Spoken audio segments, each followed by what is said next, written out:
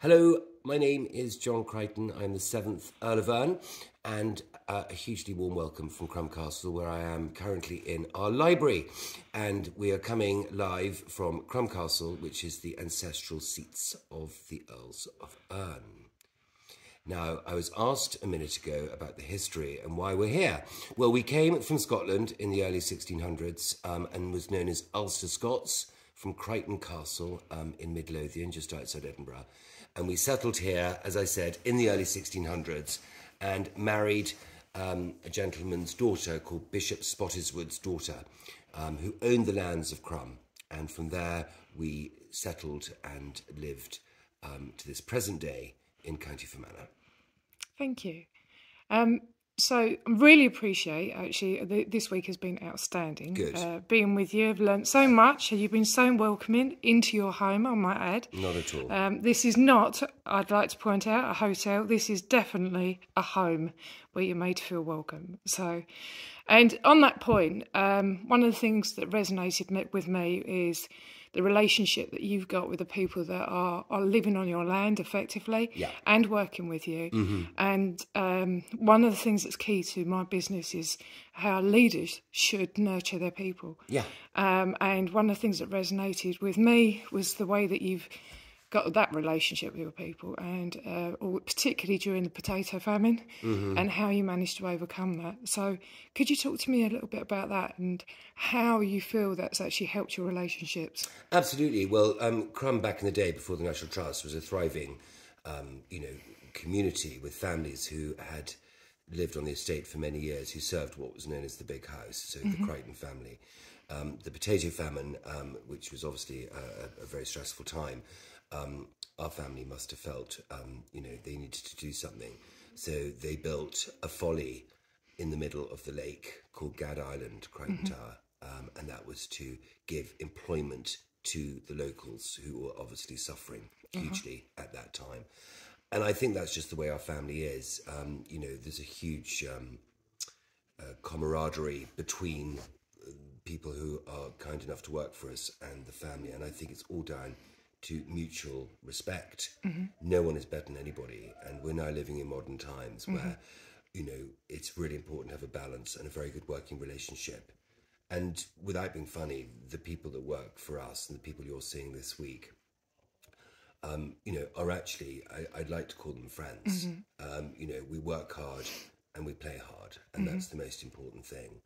But gone are the days where you know you you treat people um, which we've never done, but mm-hmm. it has been known that you know back in the day, mm. um, the team, as I call them, but they yeah. were known as servants in those days, were mm-hmm. were treated very harshly, mm-hmm. and I think that is wrong, mm. um, and that is why I hope we have a good team here because we look after them, we respect them, they respect us, and we work together to make the castle thrive. Fantastic, and uh, the other thing that I noticed as well is that you mentioned is that you you have generations of family that have been working with your family. Yes. Um, so that's a great indicator, you know, because you know we are in modern days. So mm-hmm. many of those people could have just stepped away and walked away. They, they didn't have done, to. They yeah. could have done. Um, you know, hospitality industry, particularly at the moment, um, having had COVID, um, and is, is, is quite a harsh um, and rather difficult industry to find mm-hmm. people. Uh, but we're lucky because the people we have that do look after us and look after you as a result um, have it in their blood and they actually enjoy the job, mm-hmm.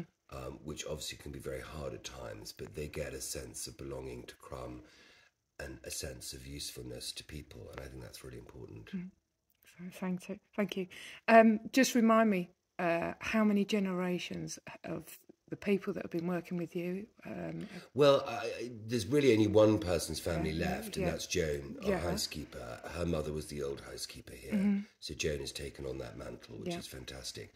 But that family would have probably gone back 300 years mm. of, of generations looking after the Crichton family here which is a, a massive indicator that you yes. obviously are doing a fantastic. Well, so are they. yeah. Uh, but yeah, I mean, it, there's obviously very good synergy between yeah. us all. So tell me just one thing is that, you know, obviously we've been here, we've been lucky enough to spend the week here um, as a, an executive uh, networking event where we've had an opportunity to do storytelling, but you've also welcomed us into our home. Yeah. What is it that you are trying to do for yourself to keep the legacy going of this beautiful, beautiful uh, whole land. it's Well, just thank amazing. You. Thank so, you for saying that. Um, I think the most important thing is that we we're given the task, my wife Harriet and I, Mm-hmm. to to do this, and it, it's a choice that I took when I was younger, Mm-hmm. and Harriet has come on board as my wife. So together we wish to remain in the house, and the Mm-hmm. only way we can do that is to do events and commercial because we do not have a pot of cash yeah. like a lot of people might think we do, but we don't. Um, and so everything that we earn from doing weddings, events, lets, full castle rental, we even host people ourselves personally, that all goes straight into the house so that we can preserve it and, and keep it going. okay. And is there a contact that, that you would push people towards? That's to- very kind. Um, our website is down, I'm afraid, at the moment, but the email address is info, I-N-F-O, at cromcastle.com. Yeah. But you just need to go on our Instagram, maybe at Crom Castle, and you can send messages or email us. Um, and if you Google Crom Castle, West Wing, or Crom Castle, um, there's a whole barrage of, of nice things to read. Excellent. Okay. Well, thank you ever so much Not for your at time. all. It's really been lovely meeting you, and uh, I'm so sorry it's your last night, but maybe we'll see you again. Oh, in, I in some way. Yes, definitely. It's been fantastic. So thank you again. Really appreciate your time. Not at all, my pleasure. And thank you to everybody. Right. Thank Good. you. Cheers.